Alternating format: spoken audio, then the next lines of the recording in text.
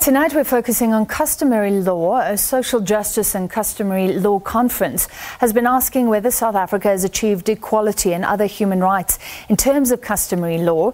It was hosted by Thuli Madonsela, who's the Law Faculty Trust Chair in Social Justice at the University of Stellenbosch.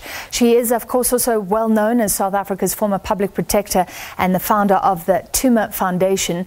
Ms. Madonsela, thank you for, for being with us. Can, can we just start uh, with a, a, brief history lesson? I think people who uh, don't know much about customary uh, marriages, for example, maybe don't know what, what rights uh, the, the women uh, have in those marriages. Can, can you run us through some of the main provisions of customary law in South Africa? Well, firstly, thank you, dear colleague, for the privilege and, and greetings to you and everyone who is watching. The conference was looking at customary law in its entirety, and obviously, marriage is central to customary law. When it comes to customary law, currently in South Africa, we have a dual legal system, which means you can get married in terms of civil law. That means you sign and you go to court, or you you have somebody who is authorized to sign. It's called the white wedding, or you could get married under tradition. The differences are twofold, or key differences are twofold. One is currently it's not really clear absolutely. When are you married under customary law? Because when we're drafting the recognition of customary marriages act there were old marriages there were diverse practices in different cultures and we didn't want to do what was done during colonialism where zulu customary law was superimposed on all customary laws. But in so trying to accommodate diversity we have ended up with uncertainty and a whole lot of people are suffering. So that's one part of customary law that is different to civil law. The second difficulty under civil under customary law is that a husband under customary law in South Africa can marry more than one wife and a woman cannot marry more than one wife. And there's two problems with this. Just firstly, there's an obvious inequality in that only the men can marry more than one wife. And it can't be argued that this is, is, is how it was done in the past. We have said that customary law is dynamic and fluid. And of course, the Balobedu, where there's the rain queen, uh, the, the queen has always married more than one wife. Um, so that's the thing. In Kenya, where the constitution is similar to ours, polyandry, where a woman can marry more than one wife, is allowed. Another difficulty that is related to that is, is the fact that we provided in the Recognition of Customary Marriages Act that the husband should consult the wife before taking uh, another wife. Well, some consult, some don't. But if you're consulted from a position of inequality, you're going to say yes because yeah. you have limited options in unequal power and unequal property. Just lastly, to say though, the key problem was not just the issue of marriage, there was also the problem of ukutwala and other forms of gender based violence, and also the issue of land. And ultimately, we concluded that today is better than yesterday, particularly because the courts, even by the admission of the Minister of Justice, have been in the forefront of transformative constitutionalism. But everything has been hampered by a colonial lens that has been used to view customary law.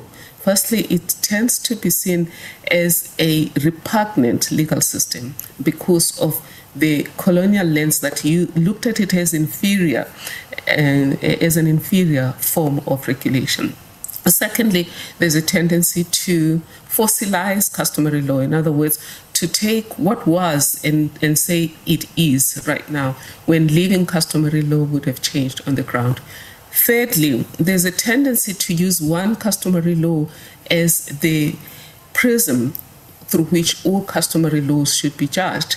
And yet, different tribes in South Africa might have in, might have different nuances. Again, yeah. that was a colonial practice which was um, uh, pointed out by both the Minister of Justice and Ad- Advocate Ngcukaitobi and the Deputy Minister of Justice, particularly uh, Holomisa.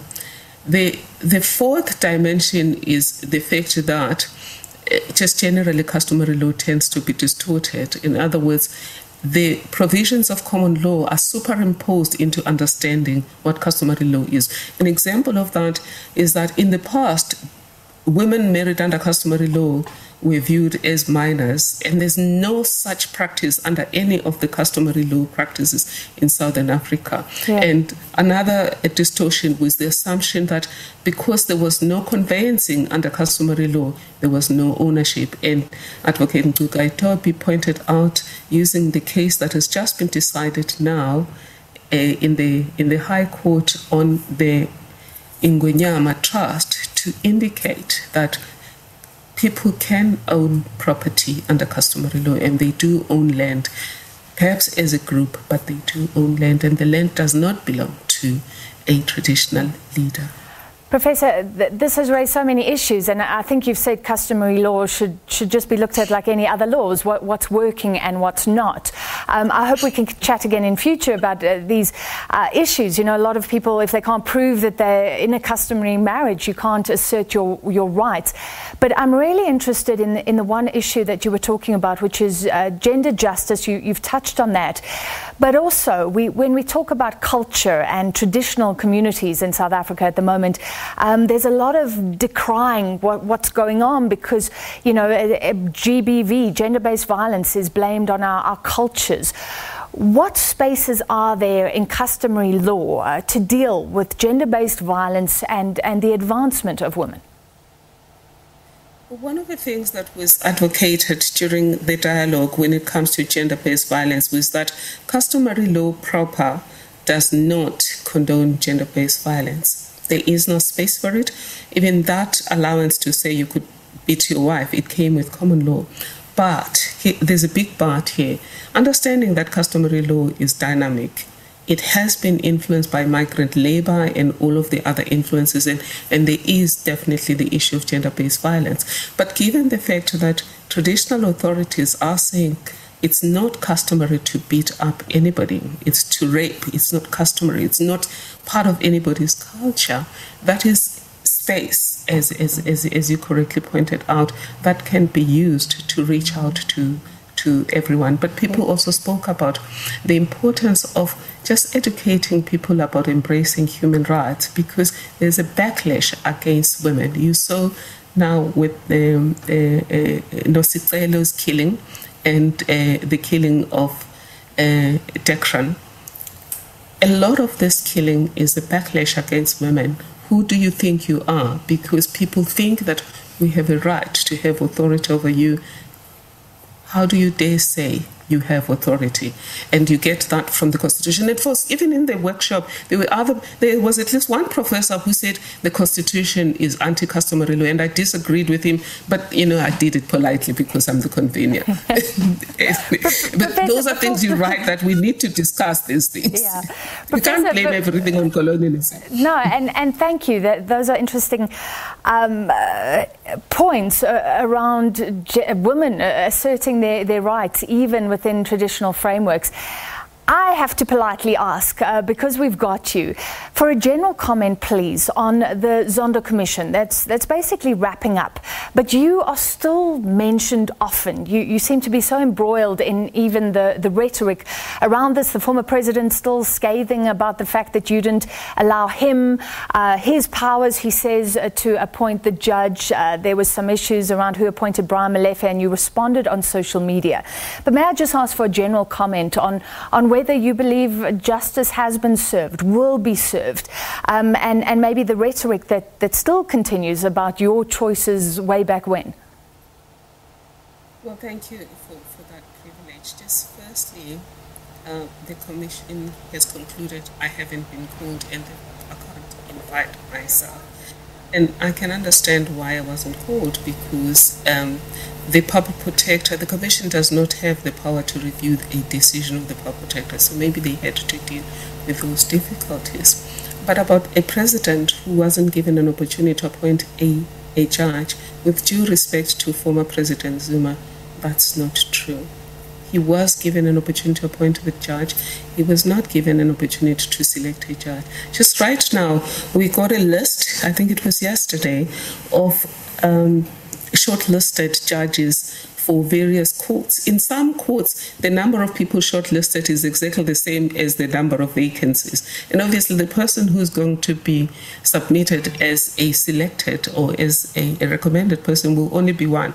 Can we now then lie and say, the president, President Cyril Ramaphosa, will be denied the opportunity to appoint the judge just because he did not select the judge.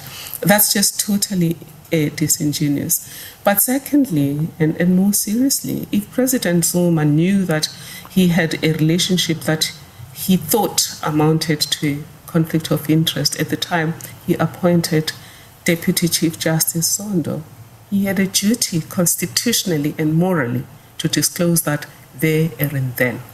To come back now and invent this is really not very helpful. And it's really sad because he did appoint this commission of inquiry, of course, at the direction of the pop protector. And he does live in this country, and his children and children's children will live in this country. The chaos he's creating is not going to do any of us any good. All right, thank you for that response. And, and talking about this conference as well, uh, so many issues around customary law. For another time, uh, that was uh, Thuli Madonsela, Law Faculty Trust Chair in Social Justice at the University of Stellenbosch.